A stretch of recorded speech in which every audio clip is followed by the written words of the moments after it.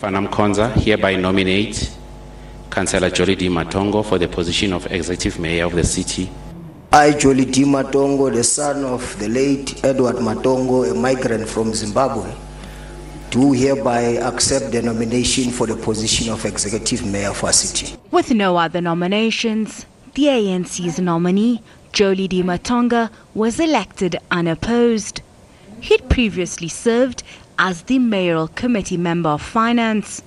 Matongo is now the third mayor of the city since the 2016 local government elections. If only one candidate is nominated, the person presiding must declare that candidate elected. So, with the powers invested on me as the Speaker of Council, I duly declare Councillor Jolidee Matongo as the Executive Mayor of the City of Johannesburg.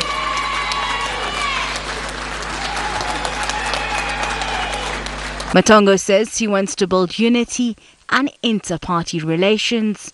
Really appreciate uh, the honor and the privilege to lead uh, Africa's preeminent city for the next few months.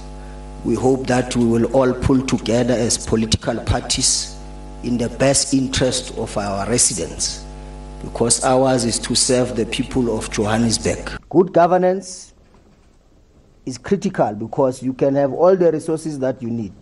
But if the resources are not deployed or used in a manner that ensures that services are delivered to the people of Johannesburg, we are going to have a problem. We are going to have uh, unauthorized, irregular, and fruitless and wasteful expenditure. Members of the council have welcomed the new mayor. We believe that he is the right person, and we also know that he's going to follow with whatever the late um, mayor had put in place, like, for instance, 120 days of accelerated services. I know now that the facilities that we were to open will be opened up. I also know that he's very passionate about the city of Johannesburg, and truly I believe that he's going to keep whoever comes into his cabinet on their toes. The mayor is expected to announce his executive tomorrow. Hesina Gori, SABC News, Johannesburg.